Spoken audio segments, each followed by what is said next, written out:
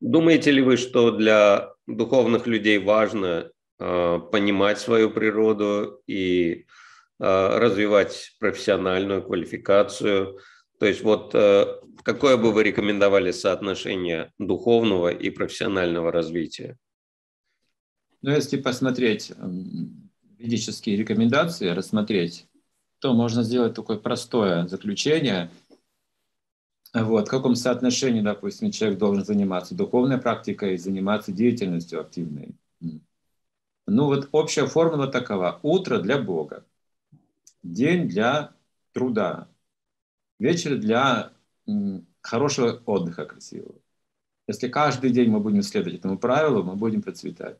Утро для Бога обязательно, день для труда и вечером для отдыха и общения. Вот такая формула.